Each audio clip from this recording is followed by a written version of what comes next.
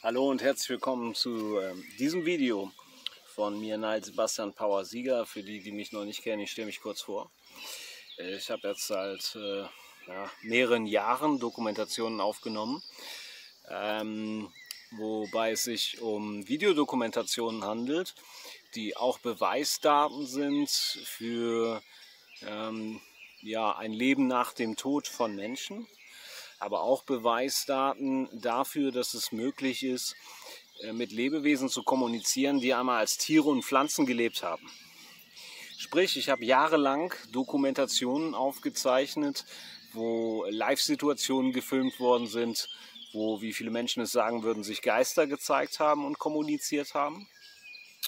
Und die auch ins Internet gestellt, unter anderem auf der Website www.ci embassy.de. Ich wiederhole das, www.ciembassy.de. Ähm, ich hoffe, die Website ist noch lange online. Solange sie noch online ist, findet man dort bestimmt schon so 50, 60 Videos. Insgesamt sind über 100 Dokumentationen entstanden mit unterschiedlichsten Lebewesen. Und ähm, ich möchte dieses Video machen, auch für die Kritiker. Ähm, wen ich damit meine, ist äh, klar, Menschen, die es nicht fassen können, dass es ein Leben nach dem Tod gibt und die solche Videodokumentationen sehen und dann nicht fassen können oder nicht glauben können, nicht wahrhaben wollen, dass es Menschen gibt, die mit Toten kommunizieren können, beziehungsweise mit körperlosen Lebewesen, wie ich sie nenne, die einmal als Menschen, als Tiere oder als Pflanzen gelebt haben. Also wie gesagt, ich nehme Videos seit Jahren auf. Ich werde dieses Video ganz entspannt halten, denn die anderen Videos, in denen ich äh, Kommunikation mit solchen Lebewesen transparent mache für die Zuschauer, äh, sind oft sehr, sehr anstrengend für mich. Sehr anstrengend. Und in all den Jahren, wo ich solche Dokumentationen veröffentliche, ähm, war ich, als ich damit angefangen habe, sehr, sehr negativ überrascht von ähm, Kritikern. Ich habe nichts gegen Kritiker, ich habe nichts gegen Menschen, die sagen, ich glaube daran nicht. Ich habe gar nichts gegen Menschen, die sagen, ähm, wenn ich etwas verstehen möchte, brauche ich Beweise und ich muss es überprüfen können. Das Lustige ist, ich habe also weit, weit über 100 Dokumentationen aufgenommen und ähm, diese Dokumentationen zeigen zum Beispiel auf, wie Lebewesen gezielt ein natürliches Umfeld kontrollieren, in dem ich mich befinde und das Einsetzen zur Kommunikation zeigen zum Beispiel auch auf Wetterkontrolle durch Geister. Wie gesagt, die Videos äh, findet ihr auf der Website www.ciembassy.de. Und ich möchte mich jetzt hier an die Menschen wenden, die ich als solche Kritiker bezeichne.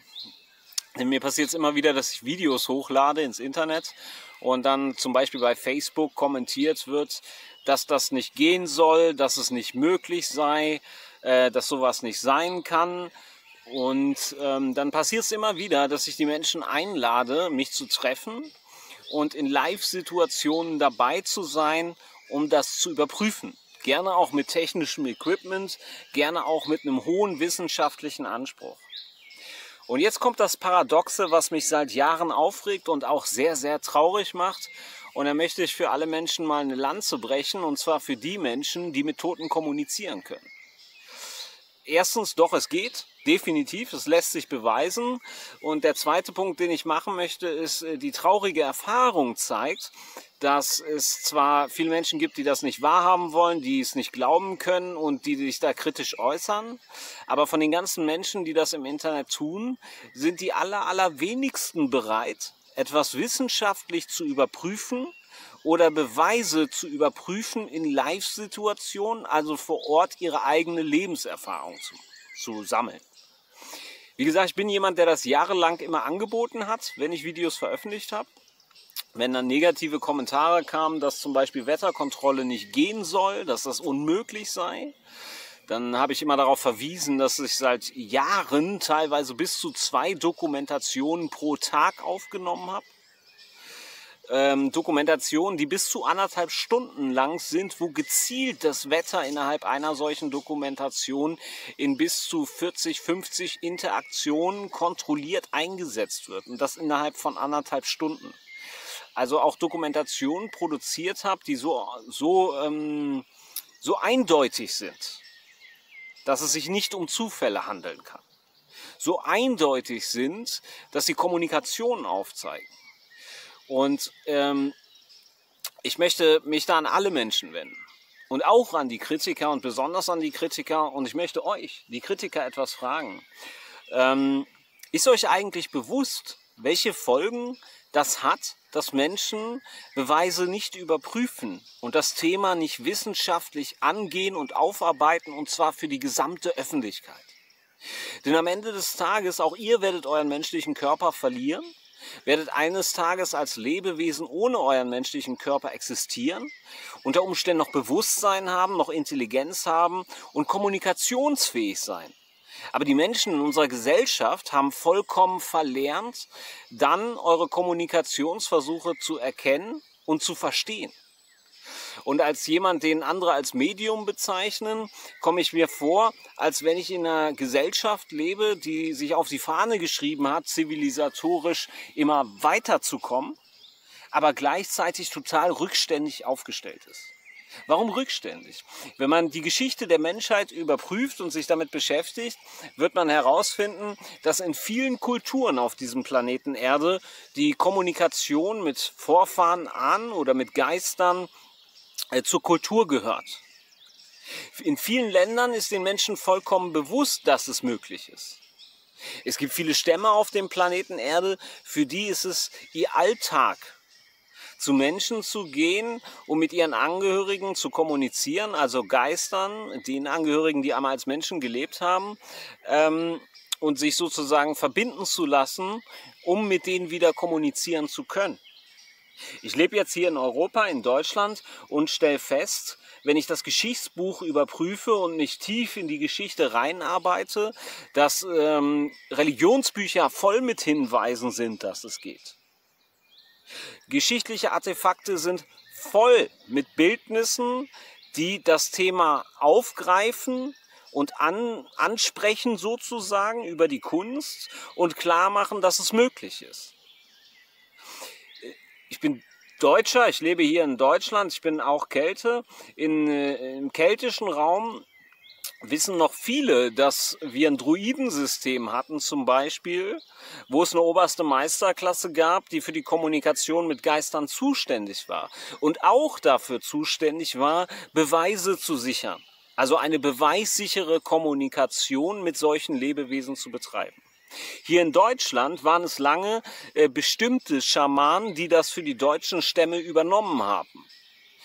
Die es also ähm, geschafft hatten, die Kommunikation aufzubauen mit Geistern, die einmal als Menschen gelebt haben, die als Deutsche gelebt haben, die zu den deutschen Stämmen gehört haben und äh, die es immer wieder geschafft haben, auch Beweise zu sichern auch Live-Vorführungen ähm, vorzunehmen gegenüber ganzen Dorfgemeinschaften, die dann das bezeugt haben.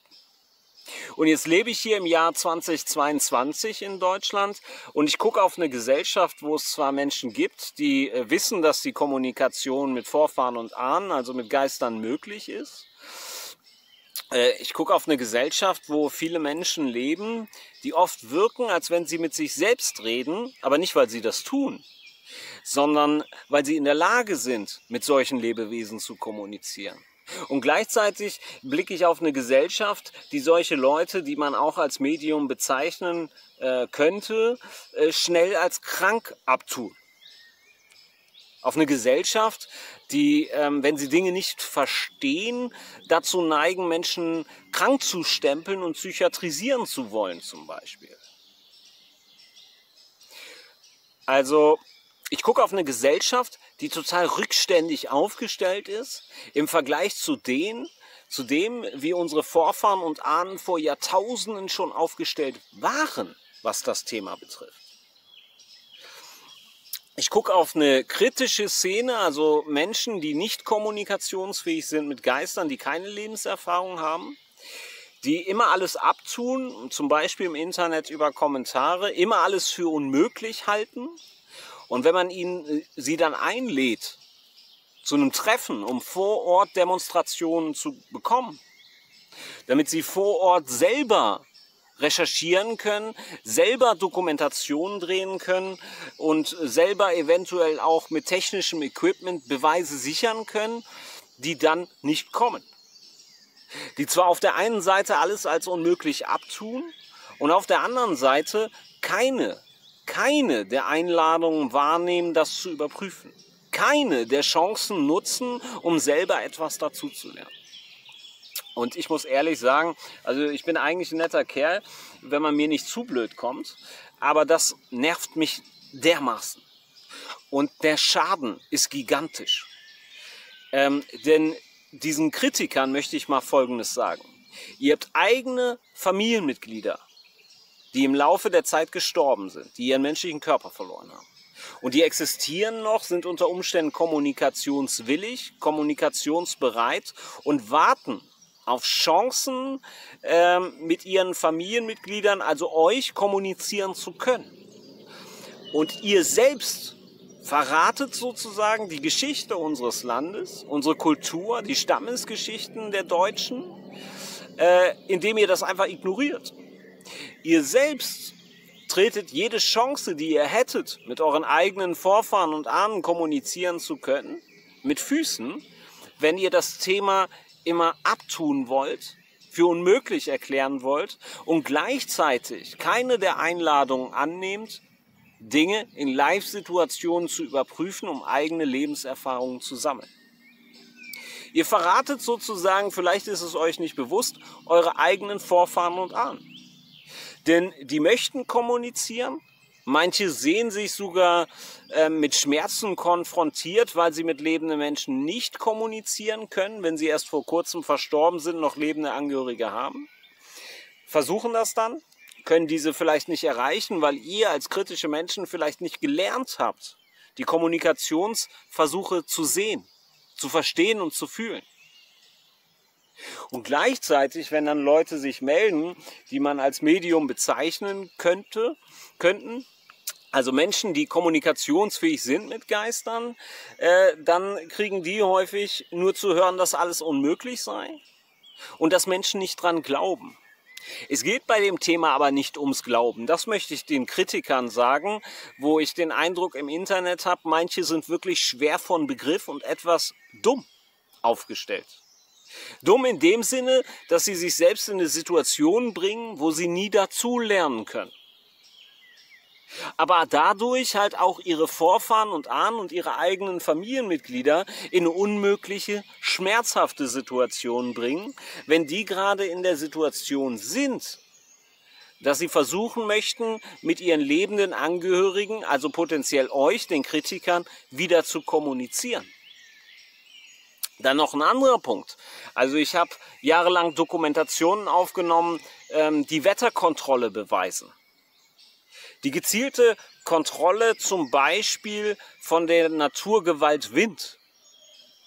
Und dann lese ich im Internet immer, das wäre nicht möglich, währenddessen Menschen wie ich jahrelang Beweisdaten sichern, dass es möglich ist. Und ich höre das von Menschen, die nichts überprüfen auf der einen Seite, wenn man sie einlädt, aber auf der anderen Seite sowas abtun und so dumm sind, Stromrechnungen zu bezahlen die hundertmal so hoch sind, als sie sein müssten, wenn die lebenden Menschen wieder lernen würden, mit Vorfahren und Ahnen besser zu kooperieren. Denn eins ist logisch, wenn diese das Wetter gezielt einsetzen können, und das können sie, und das sogar tun auf dem Planeten Erde, und das tun sie, dann kann man das auch nutzen zur günstigen Energiegewinnung. Und das Thema ist nur ein Beispiel von so viel. Lebewesen, die einmal als Menschen gelebt haben, können in die Situation kommen, nachdem sie ihren menschlichen Körper verloren haben, dass sie mehr Wissen haben, dass sie unter Umständen mehr Bewusstsein bekommen, als sie als lebende Menschen hatten, ähm, und dass sie mehr können im Sinne von mehr Kraft einsetzen können, dadurch, dass sie sich mit der Symbiose, also der Natur selbst verbinden können, im natürlichen Umfeld, aber auch biologischen Körpern und diese beeinflussen können. Und all dieses Potenzial und all diese Chancen gehen einfach flöten in unserer modernen Gesellschaft, weil diese sich total ignorant gegenüber dem Thema aufgestellt hat. Und es ist noch beschissener. Nicht nur, dass Menschen das medizinische Potenzial liegen lassen, das da ist, weil solche Lebewesen halt auch biologische Körper beeinflussen können. Also sie können die krank machen, aber auch zum Beispiel heilen. Und wenn jetzt Kritiker wieder sagen, das geht nicht, Leute, ihr seid bei mir an der falschen Adresse. Denn ich sammle Beweisdaten seit Jahren und habe auch schon zum Beispiel Videodokumentationen gedreht, wo mein menschlicher Körper mit medizinischem Equipment verbunden war und dann gezielt beeinflusst wurde zu Kommunikationszwecken, zum Beispiel mein Herzschlag, in einer Situation, wo sich ein Familienmitglied meiner Familie in Symbiose mit meinem menschlichen Körper verbunden hatte und dann meinen Herzschlag reguliert hat auf relativ unnatürliche Art und Weise. So viel als Beispiel im Bereich der Medizin. Sie können äh, sich in Symbiose mit menschlichen Körpern verknüpfen, in diesen Leben, diese krank machen oder heilen. Und weil sie die auch heilen können, liegt da extrem viel Potenzial drin. Aber solange Menschen sich auf einen Doktortitel was einbilden und an Schulmedizinbücher klammern, die bestimmte Dinge ausschließen oder für unmöglich einstufen, solange wird unsere Spezies sich nicht weiterentwickeln, nicht weiterkommen. Und das ist Verrat an den nächsten Generationen, an den Kindern, die geboren werden. Dann gucke ich auf Gesellschaften. Aktuell ist der Ukraine-Krieg. Wir haben das Jahr 2022. Ähm, die Energiepreise gehen nach oben und ich kommuniziere in meinem Alltag mit Lebewesen, die, wie ich schon erwähnte, zum Beispiel das Wetter beeinflussen können. Und ich gucke auf Gesellschaften, wo es mir vorkommt, als wären die voller Idioten. Und ich meine es nicht böse an die Kritiker, sondern ich gucke so drauf. Euch fehlt Wissen und Bewusstsein. Und es gibt in unserer Gesellschaft viele tausend Menschen, die mit Geistern kommunizieren können und die auch Demonstrationen erhalten zu den Fähigkeiten, die diese Lebewesen haben. Wenn man diese Menschen, wenn sie sich melden und mit dem Finger drauf zeigen, aber immer diskreditiert und mundtot machen möchten, dann wird man selber nichts dazu lernen. Und es zeigt auch nicht die eigene Stärke oder die eigene Intelligenz, sondern es zeigt einfach nur auf, dass Menschen, die so ticken, ziemlich dumm sind und auch dumm bleiben werden. Äh, es sei denn, sie treffen einen Nachhilfelehrer, der, äh, der es ihnen sozusagen vor die Füße schmeißt. Und das finde ich traurig. Ich finde die Ignoranz in unserer Gesellschaft extrem traurig gegenüber diesem Thema. Und mir ist bekannt, dass viele Menschen, deren Körper zum Beispiel beeinflusst ist, die Kommunikation äh, beeinflusst sind, die kommunikationsfähig sind mit Vorfahren und Ahnen, geradezu als Ausgegrenzte in unserer Gesellschaft leben müssen und sich teilweise nicht mal mehr trauen, mit anderen Menschen, die nicht kommunikationsfähig sind, mit Geistern, ähm, mit diesen anderen Menschen darüber zu sprechen, was diese Lebewesen können, wie sie zum Beispiel deren Körper beeinflussen können. Und das alles nur, weil sie nicht nur schnell verurteilt werden, nicht nur extreme Nachteile haben, nicht nur ausgegrenzt werden, sondern teilweise systematisch ähm, in Situationen gedrängt werden, wo sie krankgestempelt werden, bis hin zu Situationen, wo solche Menschen unter schwere Psychopharmaka gesetzt werden, die die menschlichen Organe angreifen äh, und am Ende einen schleichenden Tod mit sich bringen können. Sprich macht dieses Video auch, weil neben den Kritikern aus dem Internet regt mich ein bisschen auf, dass ich in einem System lebe, was Menschen, die in die Situation kommen, dass ihr menschlicher Körper durch solche Lebewesen beeinflusst wird, äh, systematisch, systematisch diskreditiert werden, bis hin zu inhaftiert werden gegen ihren Willen und teilweise auch vernichtet werden und das schleichend über die Pharmaindustrie. Und ich lebe in einer Pseudogesellschaft, die ähm, sich immer auf die Fahne geschrieben hat, äh, dass sozusagen die deutsche Geschichte sich nie wieder wiederholen darf in Bezug auf ein System, was es in der Vergangenheit gab, nämlich das Dritte Reich. Und dann laufe ich heute durch Innenstädte. In unseren Großstädten gibt es in jeder Stadt Einrichtungen, wo Menschen gegen ihren Willen gefangen gehalten werden und solche Medikamente bekommen. Und das teilweise nur, weil sie in Lebenssituationen sind, die Mediziner der Schulmedizin nicht kapieren und nicht verstehen. Liebe Kritiker im Internet, ich weiß nicht, ob euch auch nur annähernd bewusst ist, dass nicht alle Medien, also Menschen, die sich als Medium bezeichnen oder von Dritten als Medium bezeichnet werden, betrifft das, aber viele. Viele dieser Menschen leben ein extrem schmerzhaftes und bitteres Leben. Denn was in den Dokumentationen nicht sichtbar ist, außer wenn man den eigenen Körper mit medizinischem Equipment verkabelt, ist der Stress. Der Stress, den Körperbeeinflussung des eigenen menschlichen Körpers unter Umständen gegen den eigenen Willen mit sich bringt. Die Schmerzen, das Leid. Und das kann immens sein. Und ich finde es eine Unverschämtheit, wenn Menschen sich viel Zeit nehmen, in unter Umständen gravierenden Lebenssituationen, in denen sie sich selbst befinden, um anderen zu helfen und auf solche Themen aufmerksam zu machen, wenn diese dann von Kritikern im Internet mundtot geschrieben werden oder blöd angemacht werden, ähm, von Kritikern, die, wenn sie eingeladen werden, wissenschaftlich das zu überprüfen und Beweise zu sichern, ihren Arsch nicht hochbekommen. Vor Arroganz.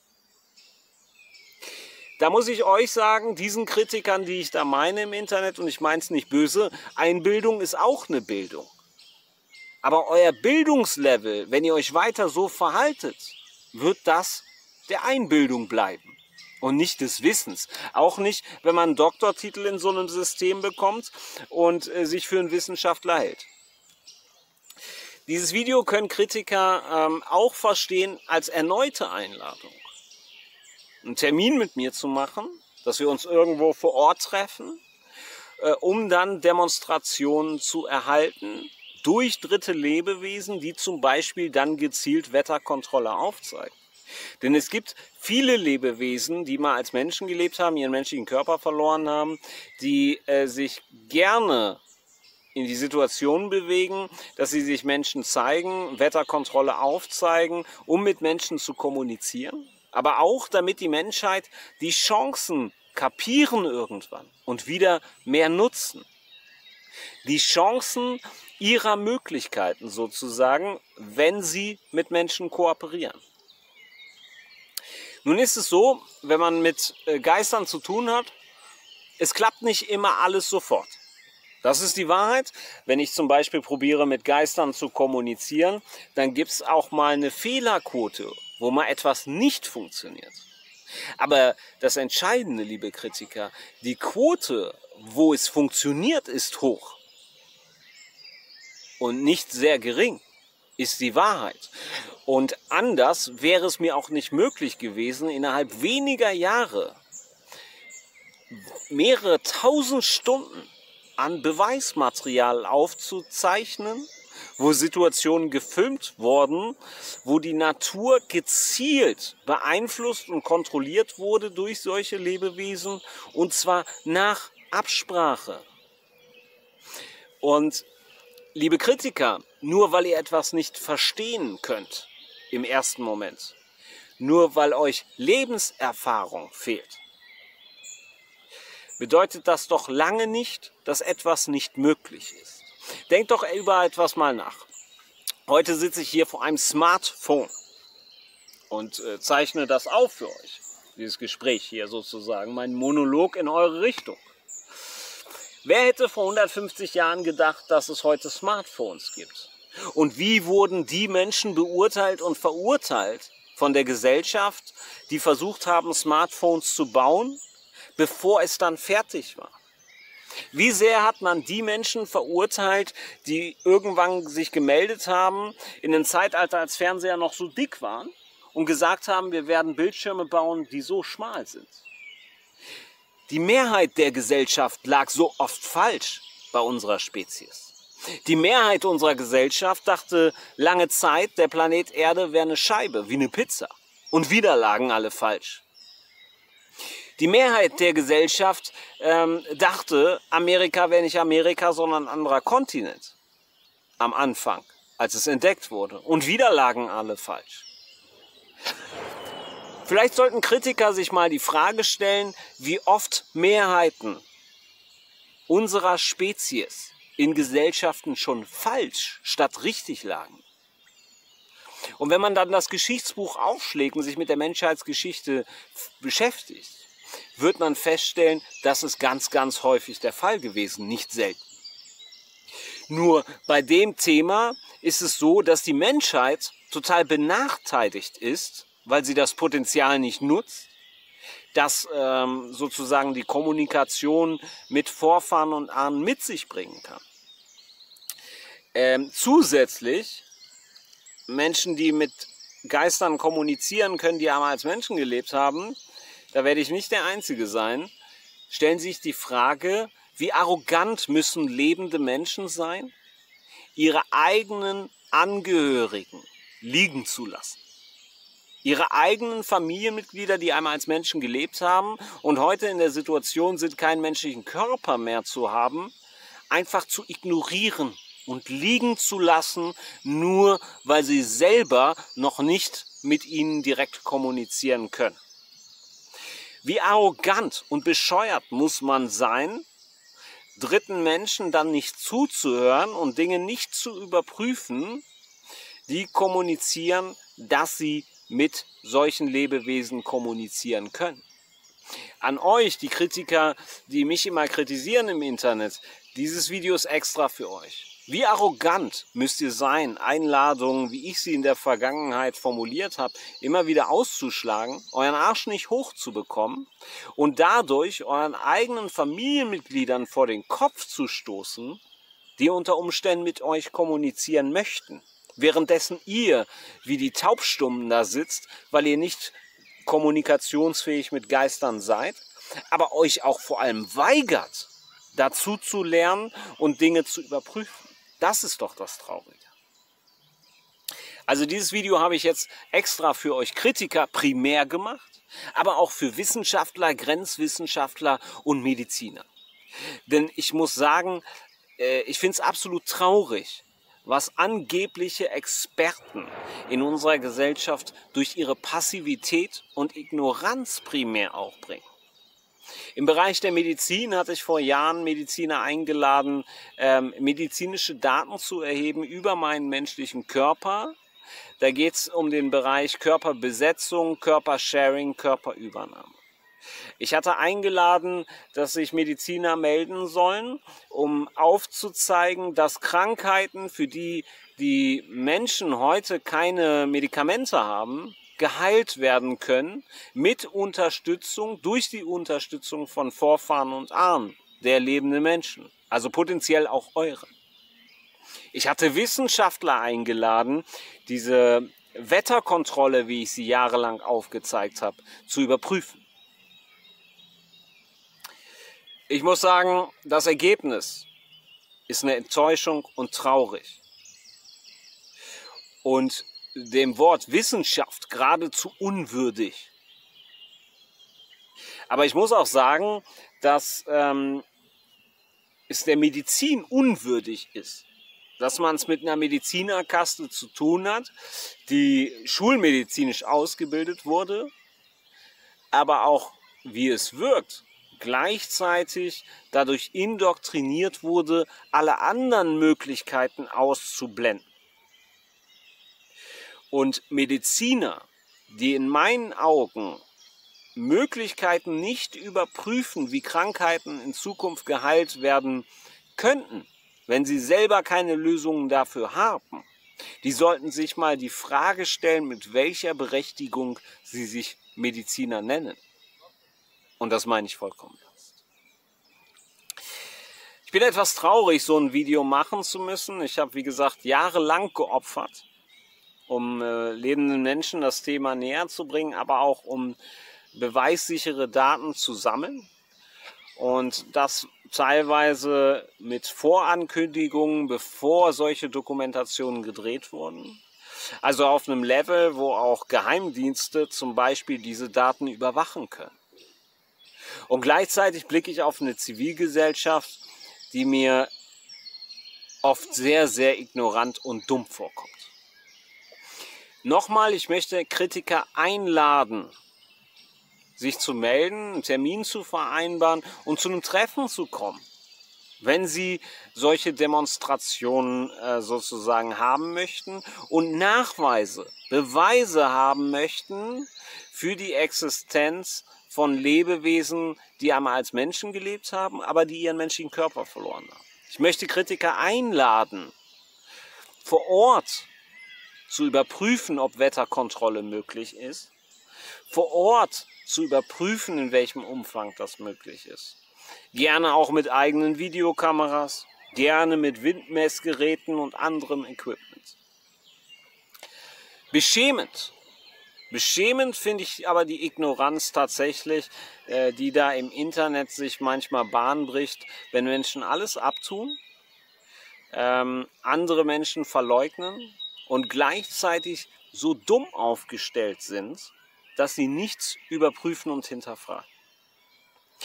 Kritisch, kritisch zu sein ist eine gute Eigenschaft, keine negative. Ich habe nichts gegen Menschen, die sagen, okay, ich kann mir nicht vorstellen, dass so etwas funktioniert.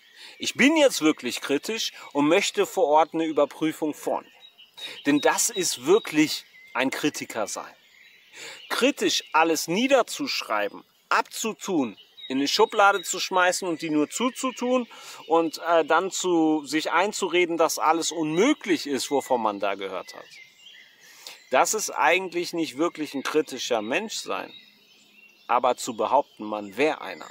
Denn wenn man kritisch ist, dann überprüft man Beweise, erhebt sie selber und, und ähm, tut das vor Ort auf einem wissenschaftlichen Niveau tatsächlich, mit auf einem wissenschaftlichen Level mit einem wissenschaftlichen Anspruch. Die meisten Kritiker, mit denen ich im Internet zu tun haben, habe, äh, ticken da aber eher pauschalisierend, verurteilend und sind ziemlich blind und naiv unterwegs für die Gegebenheiten, wie sie auf dem Planeten Erde sind. Und äh, nochmal an die Kritiker, dieses Wissen, dass Vorfahren an kommunikationsfähig sind, dass sie Naturgewalten kontrollierend einsetzen können, je nach Situation, nicht immer, aber je nach Situation, das ist jahrtausendaltes Wissen. Wenn ihr denkt, dass das neues Wissen wäre, was ihr für unmöglich haltet im ersten Moment, liegt ihr falsch.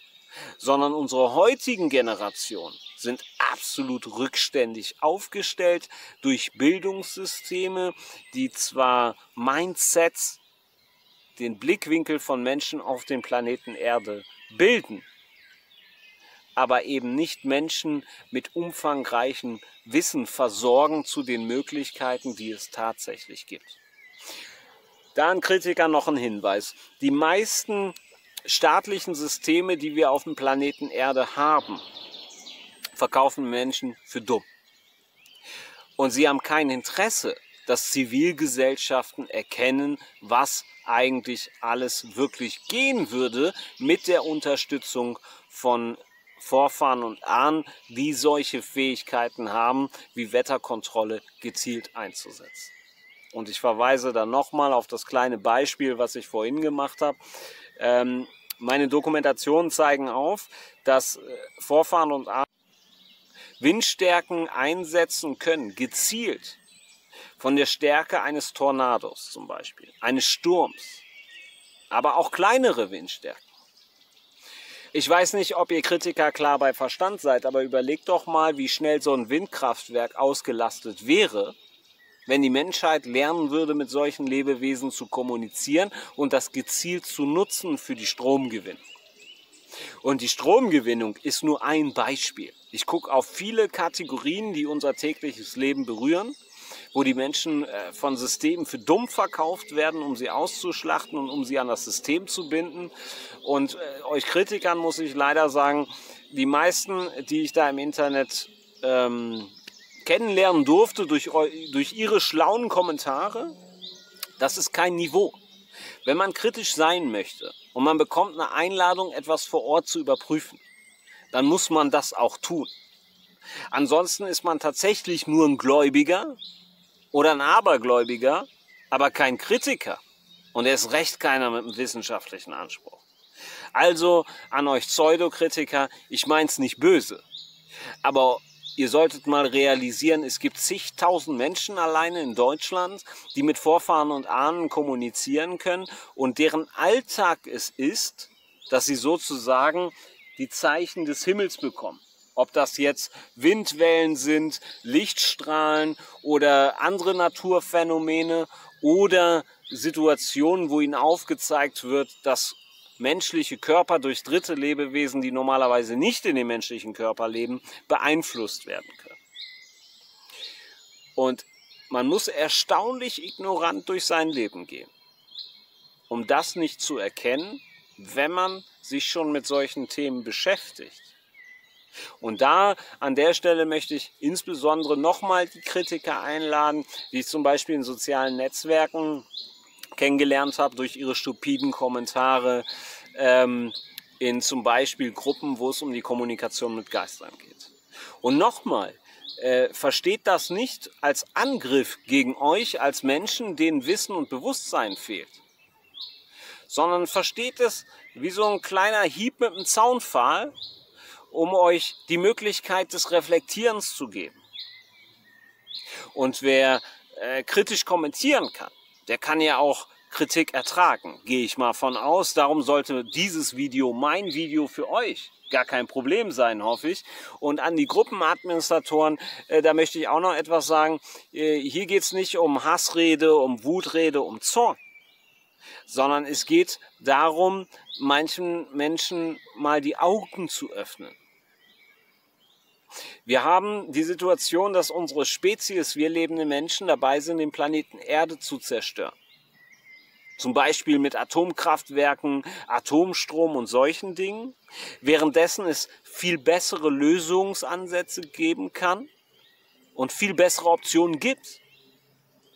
Aber sozusagen dieser Teil der Gesellschaft, der alles immer für unmöglich abtut, der ja nicht gerade klein ist, der führt auch dazu, dass unsere Spezies nicht weiterkommt. Und das verursacht viel Probleme für uns alle. Und darum denke ich, ist es auch in eurem Interesse und ich denke auch mein Recht, ähm, Kritikern entsprechendes Feedback mit diesem Video zu senden. Und wie gesagt, dieses Video ist ein Video, um die Menschen, die diese kritischen Kommentare immer verfassen, einzuladen, etwas dazuzulernen und etwas überprüfen zu können statt in ihrem Aberglauben verhaftet zu bleiben wie in einem mentalen Gefängnis. Vielen Dank fürs Zuhören und fürs Zuschauen. Euer Neil Sebastian Power Sieger. Oh, und by the way, heute bin ich vollkommen im Outdoor-Look. Hier mit der komischen Camouflagehose. Ich bin in Bonn an der Sieg und habe hier gestern auch eine Dokumentation aufgedreht, mit, äh, auch gedreht mit einem Lebewesen, ähm, das mal als Baum gelebt hat. Und ich werde hoffentlich bald weitere Dokumentationen mit diesem Lebewesen drehen können. Das Lebewesen hat auch Wetterkontrolle gezielt eingesetzt, um sich euch, den Zuschauern, zu zeigen und zu kommunizieren. Und äh, wir werden weitere Dokumentationen drehen. Es wird ein Mehrteiler werden, der dann auch wieder auf der Website www.ciembassy.de äh, veröffentlicht wird, allerdings etwas später und äh, vorher auf meinem Facebook-Account und vielleicht auch in den Gruppen. Äh, und in der Videoserie, in dem Mehrteiler, wird es darum gehen, wie diese Lebewesen, die einmal als Bäume gelebt haben, in ihrer Lebenszeit als Baum ähm, uns Menschen wahrgenommen haben, wie sie das Umfeld wahrgenommen haben, was wir ja auch beeinflussen, indem sie leben und äh, wie sie die Umweltprobleme, Geräuschprobleme und weitere Probleme sehen, die wir als Menschen in ihrem Umfeld verursachen. Und äh, da darf ich mir auch noch mal einen Seitenhieb an die Kritiker erlauben. Seht mal, atmet mal ein und aus und regt euch nicht auf über die deutlichen Worte. Und dass ihr das konntet, das verdanken wir Lebewesen wie dem Lebewesen aus der Dokumentation, von der ich gerade gesprochen habe. Und dann solche Dinge immer nur abzutun als unmöglich, ist ziemlich respektlos, auch gegenüber der eigenen Existenz in einem biologischen Körper, der ja auch nur Teil einer Symbiose ist, der Natur, in dem wir mit Bäumen und anderen leben und halt auch mit Geistern, ob ihr es einsehen wollt oder nicht. By the way, ihr seht ja eine Splitscreen-Ansicht, ein schönes Herz habt ihr da im Wasser. Ich zeige mal mit dem Finger drauf. Seht ihr die Herzform? Jetzt lächelt's. Zack. Ähm, aber manche können halt Dinge sehen, andere nicht. Schönen Abend noch.